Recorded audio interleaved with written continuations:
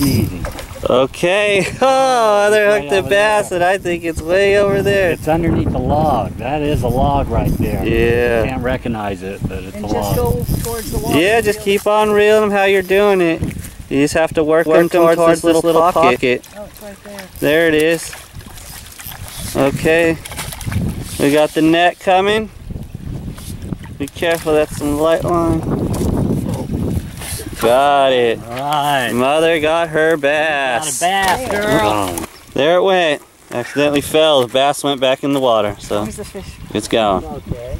Let's try to hook another now. Okay, mother with another one. Man, this is a little honey hole, huh? Yeah, I love this. I think this one's better than the last one. I should get on the net. He's just a little more feisty.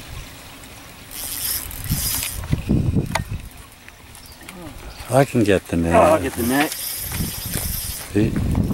I think you might be stuck now, Chris. Oh, whoa, maybe not. You might have on a good one. Draggy Titan? No, it sounds good. It's going out. That's what Um, you want. You want Yeah, don't, don't horse it It though, just to the same. It's all right. It'll come. Yeah, it'll see. it'll work out. Yeah, Yeah. here it is. It's out. Oh, it's going back under. It's a good one. Yeah, it's nice. Whoa, Oh, good job, Chris. oh. Don't let me lose it. Let me see it. Don't let it. me lose it. Oh, she can't lose that one. That's her fish. It's a pig. God dang, I'll say. Yeah. Damn. Well, now that's the Cool. Dang, that is a true bass there.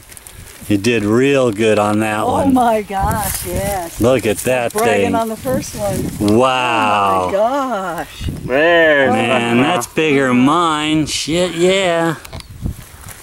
Congratulations, Chris.